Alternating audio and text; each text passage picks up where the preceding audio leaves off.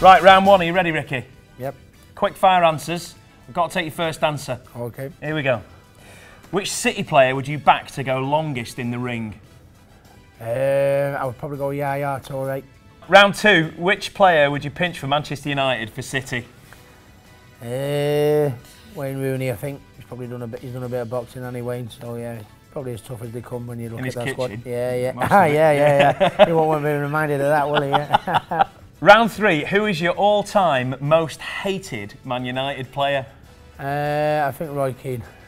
yeah.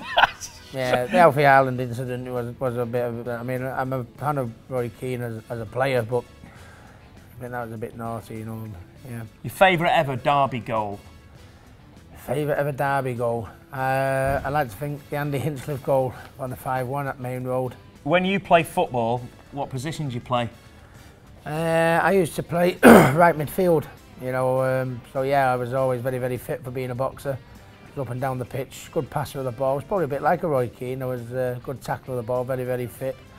Um, yeah, so right midfield, yeah, was pretty good. You still play now at all? I don't play now. No, I used to be at City's Books at the School of Excellence as a youngster, but uh, I was slightly better at hitting people.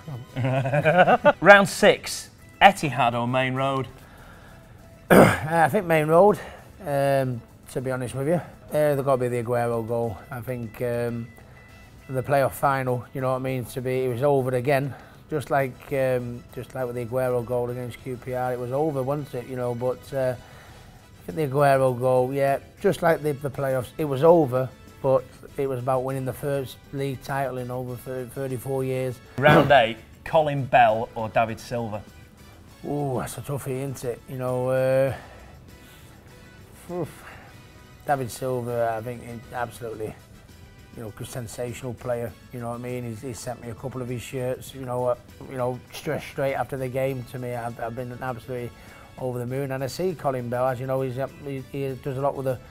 Um, still does a lot with the club. Yeah. You know, um, so you still see him knocking about. Uh, really split right down the middle. De Bruyne or De Bruyne?